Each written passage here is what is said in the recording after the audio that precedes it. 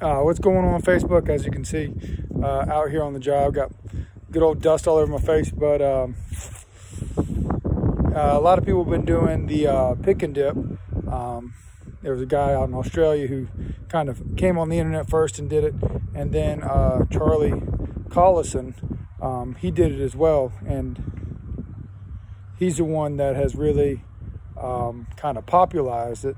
Um, the whole point is to have a smaller trowel uh, to lay brick quicker by not spreading mud and playing with it. Um, I'm over here in the States, so we don't furrow the mud or anything like that, and I'm on a small foundation. So what I'm gonna do is just show you using uh, my nine inch Philadelphia uh, W Rose trowel, um, how I would go about um, doing the pick and dip method. It's not something I do on my bottom three or four courses on a foundation. Um, but when you get up and um, you can uh, have to move a little bit faster and you're not bending down as much to um, spread mud, it is very, very effective. So here it is. I hope you enjoy it.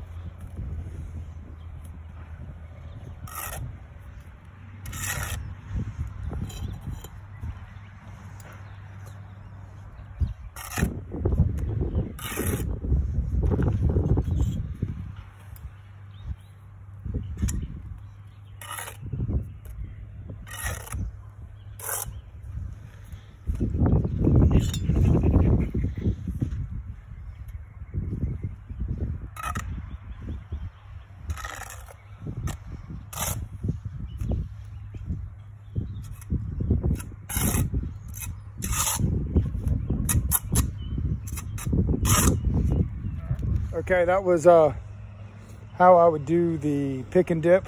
And like I said, I don't really do it on the bottom four courses. Um, it's something that from the fifth course up I do. Uh, it just seems like it goes faster doing the other way. Then I do a kind of another version of it um, where I do a long spread. Like again, uh, we don't furrow the mud out out here and we cut the back of the wall off. It doesn't really matter. Uh, a long time ago, I heard the guy that taught me how to lay brick, mortar's the cheapest thing on the job. So we don't really play around with it. We just try to get brick in. So what I'm gonna do is a long bed spread um, and then also do a pick and dip and kind of time both of them once I get back and look at it and uh, you'll be able to see which one is faster. Um, I know a lot of people overseas, y'all worry about the cavities and stuff like that.